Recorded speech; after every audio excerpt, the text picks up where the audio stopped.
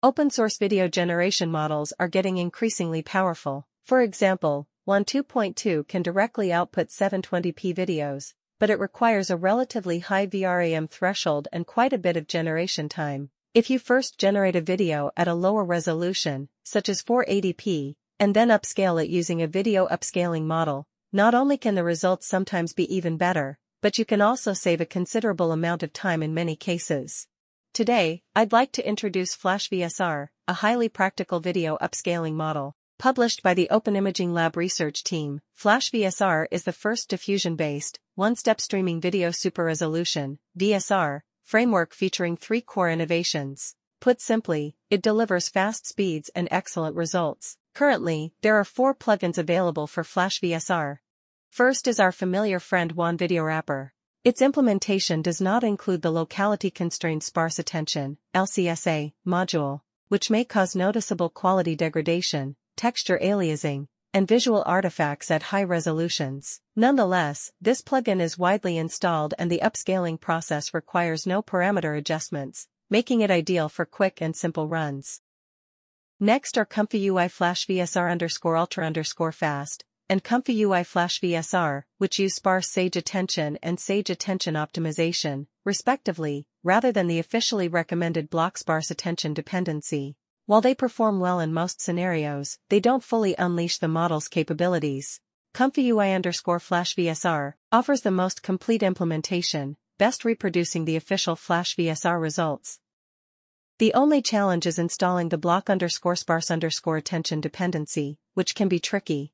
However, for me, what matters most is the upscaling quality, so this isn't a major obstacle. In this tutorial video, I'll first walk you through installing and using the hardcore Comfy UI underscore Flash VSR plugin to experience the full potential of the Flash VSR model. Then I'll demonstrate Wan Video Wrapper to show how far the simplest approach can go. Finally, I'll compare it to another contender in the field, SeedVR2, and analyze their respective strengths and weaknesses. Launch Comfy UI. As usual, we install plugins via Comfy UI Manager. Search for FlashVSR to see three results, all the plugins mentioned earlier. Click Install on the first entry. Wait for the installation to complete, then click the pop-up to restart Comfy UI. The plugin is now ready. To unlock the full capabilities of the plugin, we need to install the block sparse attention dependency library. First, stop the currently running instance of Comfy UI. This library is not common and lacks precompiled wheel files for various platforms. The plugin author provides wheel files for Python 3.11, Torch 2.8 plus CU128, but it's unclear which GPUs are supported. Based on my previously shared integration package, I've locally compiled a wheel file for Python 3.12, Torch 2.8 plus CU128, which theoretically supports 30, 40, and 50 series NVIDIA GPUs. If your environment differs, you can compile it yourself, just make sure your Python and PyTorch versions match those in your Comfy UI environment.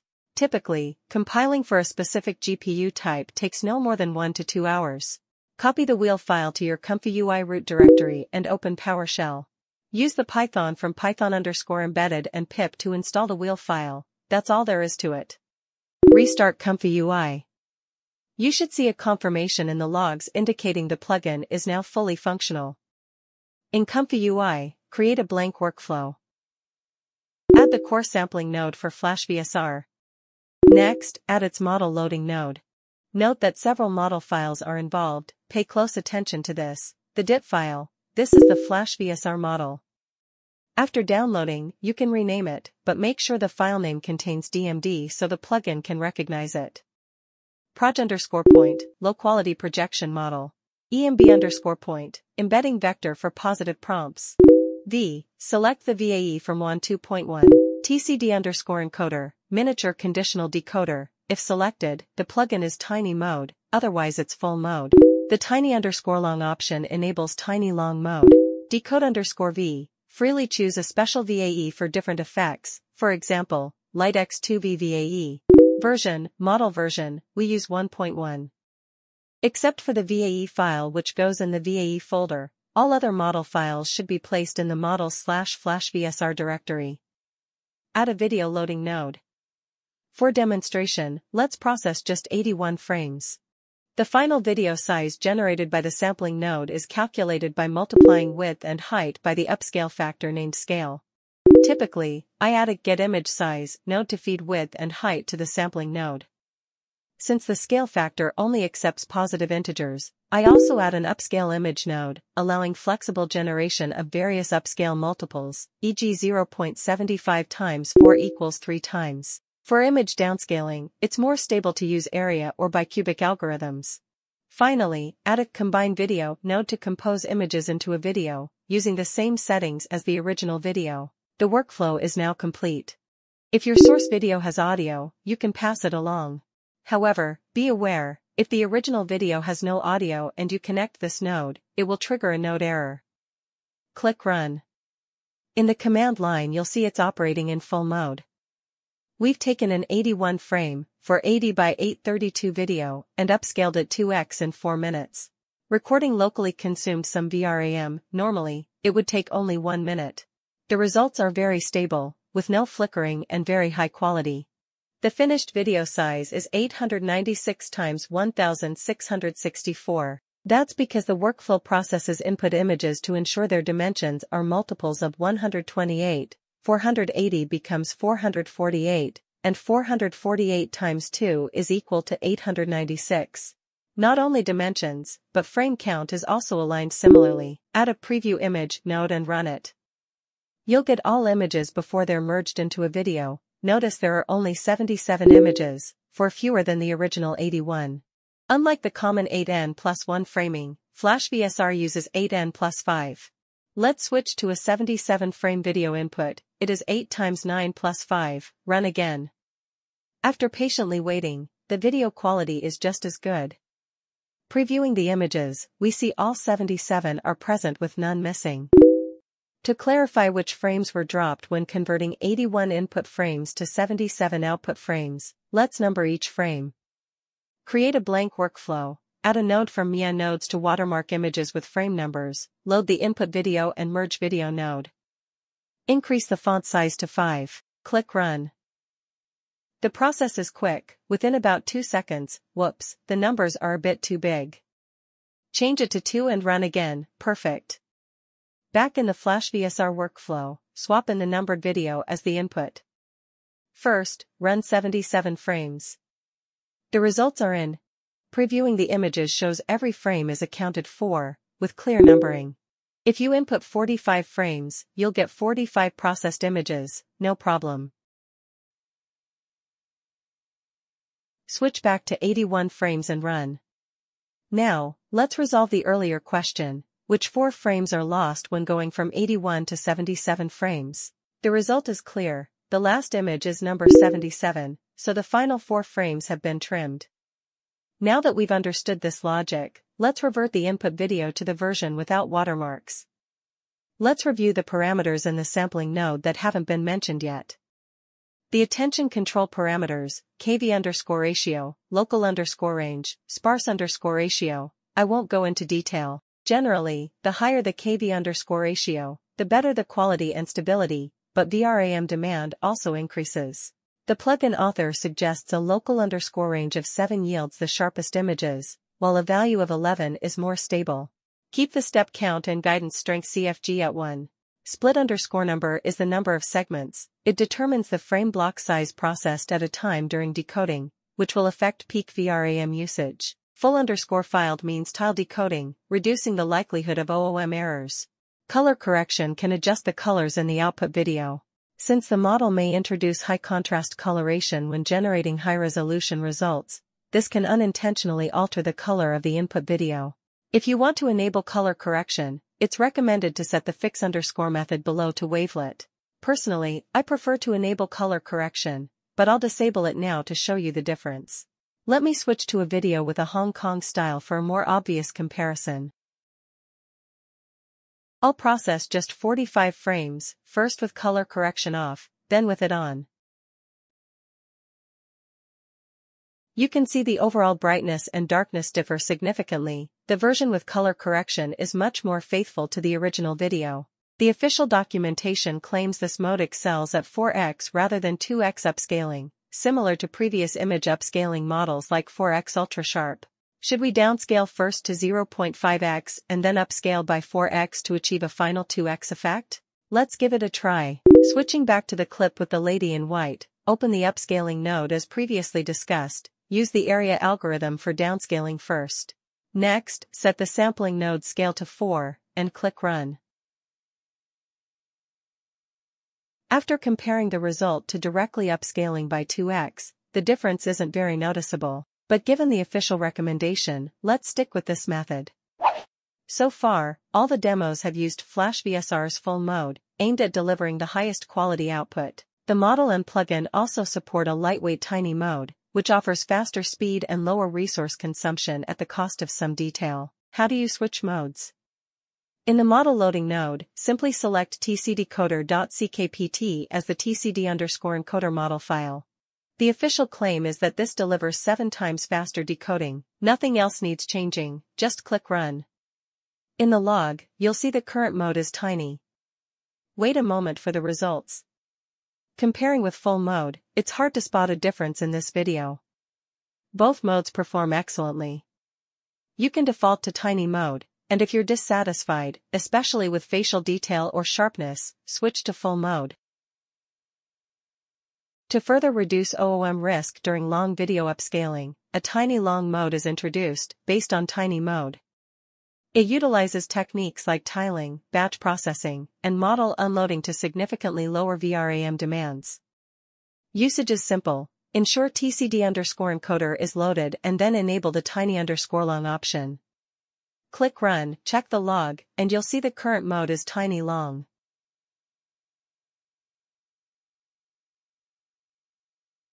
Once processing is complete, I put the results from all three modes side by side. In theory, full mode delivers the best quality, tiny is the fastest, and tiny long has the lowest VRAM requirement, though it may be the slowest.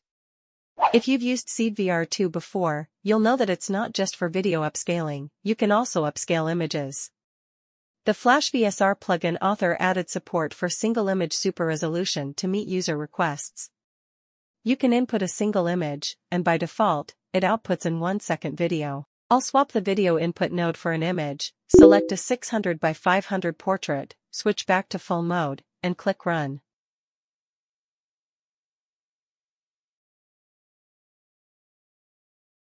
It's done, and we get a video, playing it, there's almost no visual change. Which frame should you use?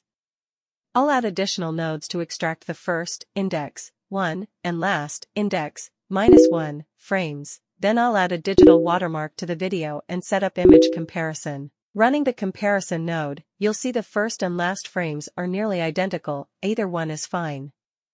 Bringing in the original image for comparison, the upscaled version is noticeably sharper, especially in the eyes and hair, though the position is slightly shifted. That's because our input image size is 600 times 500, which isn't divisible by 128, so the image was center cropped. Now let's try a larger 1024 by 1024 image with text. I'll downscale it to 0.5x and then upscale to 4x, keeping the rest of the nodes unchanged, and hit run.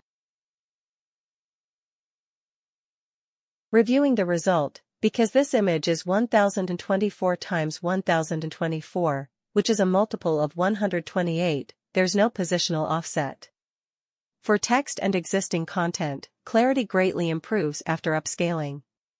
From my perspective, while the effect is good, using Flash VSR for image-only upscaling feels inefficient. It's designed to use context between frames for smoother motion, which is wasted with single image input. The process is also time-consuming and memory-intensive.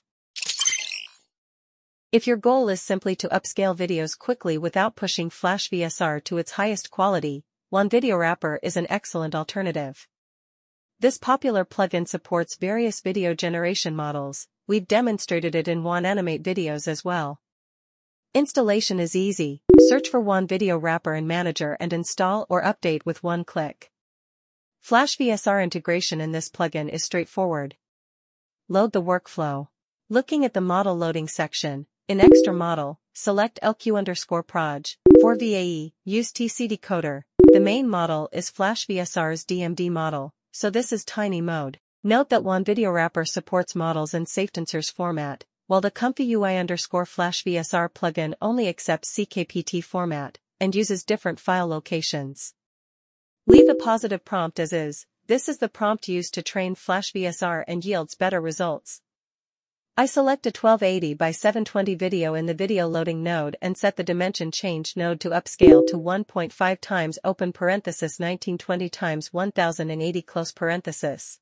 The sampler node is the regular Wan video sampler, no real parameters to adjust, then click run.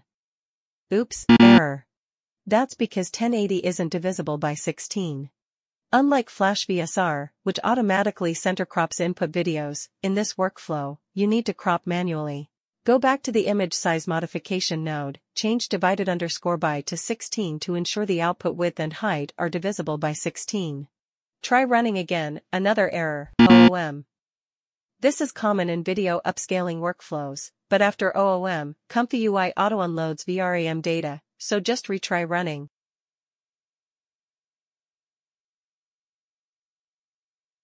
After waiting a bit over 3 minutes, the result is done, the default workflow produces a comparison video. Although I'm satisfied with the result, this implementation is basic, consumes a lot of VRAM, and is known to produce artifacts at high resolutions. If you don't want to, or can't, install block sparse attention and typically just upscale short 480p videos to 960p or 1080p, and have enough VRAM to avoid OOM, this simple approach is perfectly acceptable. Now let's look at SeedVR2, which I've used frequently for video upscaling. I use the SeedVR2 underscore video upscaler plugin, which receives frequent updates. Load the workflow, which is straightforward, select the 3BFP8 model, set the target resolution at the upscaling node, I set it to 896 to match the previous Flash VSR size. Batch underscore size is analogous to context window, the larger it is, the more consistent the results, but it demands more VRAM. I leave it at 5. For color fix, enable wavelet mode. Click run, 45 frames take 90 seconds in total. Here's the final effect. I think, although theoretically Flash VSR is faster, SeedVR2 offers a range of quantized models with lower requirements, so it can actually be quicker in practice. In terms of results, SeedVR2 excels at restoration, filling in image detail, and offering better single-frame quality, while Flash VSR emphasizes coherence between frames, making video enlargement more stable. That concludes the demonstrations. In summary, Flash VSR is a highly recommended video upscaling model.